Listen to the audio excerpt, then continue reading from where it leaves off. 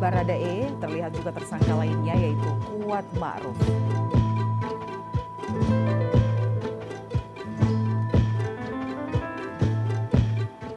Proses rekonstruksi atau reka adegan peristiwa atau kasus pembunuhan terhadap Brigadir J ini dipandu oleh anggota kepolisian termasuk tim Inafis yang saat ini sedang berada di ruang tengah rumah dinas Kadif Propam Polri, mantan Kadif Propam Polri.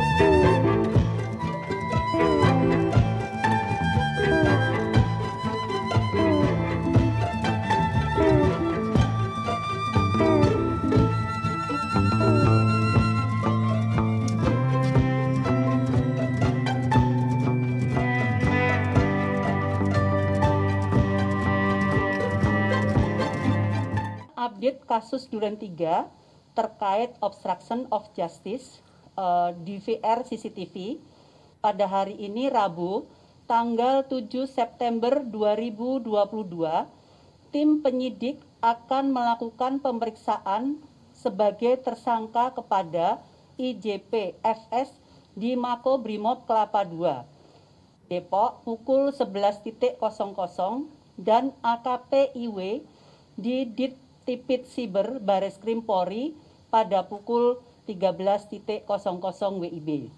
Kemudian rencana tindak lanjut penyidik akan segera melengkapi berkas perkara dan mengirimkan ke JPU.